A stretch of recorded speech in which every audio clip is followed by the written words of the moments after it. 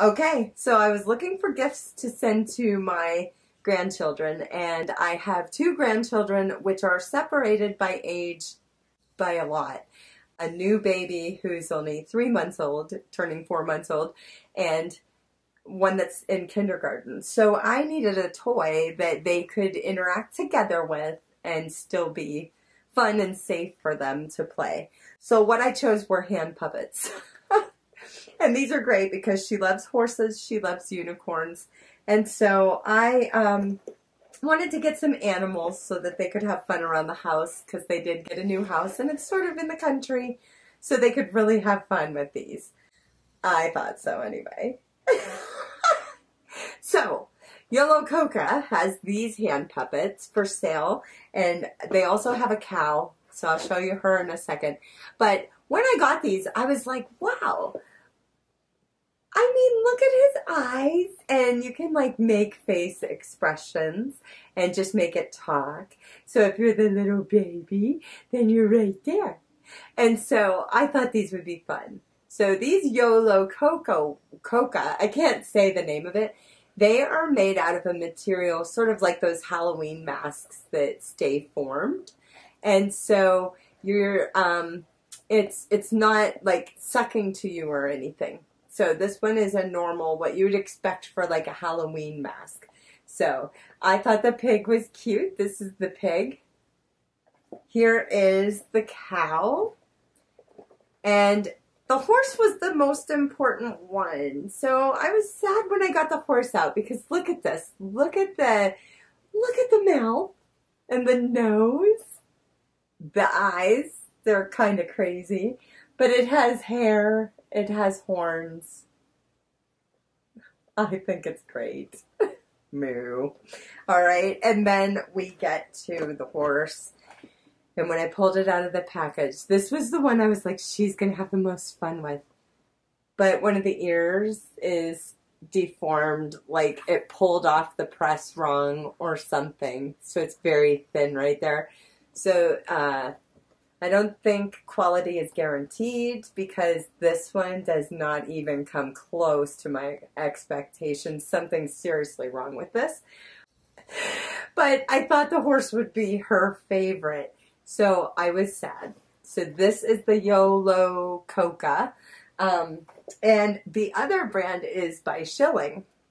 And these are stretchy hand puppets unicorns, which is even better. So I think that we're going to win the day either way. But these little babies right here, okay, so I have hair or something sticking to them because they're. these are made more for little hands, okay? Because they really do stretch. And I have super duper humongous hands for a girl. So this one, I mean, you form it to your hand how you want it to go, and then the mouth is really stretchy. So the eyes don't look right on my big, wide. I have gargantuan hands. I know, right? It's as big as my head. so just know that. For little kids, these stretchy unicorns are really super great because, yes, things will stick to them or whatever, but they're completely washable. So, completely washable is good that was the first one, and then you get this one. This is, and if you look, I mean, the hair from the other puppets got stuck to it. But I think it's really fun to like make these animals chew, talk. these ones don't fit an adult hand so easily as they're going to for her. So I'm going to send her the whole three pack and I wanted to keep a puppet here, but I think I'm going to order a different one to maybe do another comparison video.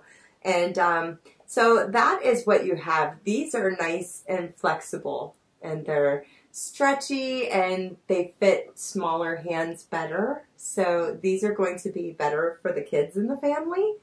And these ones are better for the adult hands. The horse especially I'm not happy with. And I think, you know, if you really put that on your hand all the way, but there is like this horrid smell that's really strong chemical smell. So I don't even know. I feel like washing my hands right now.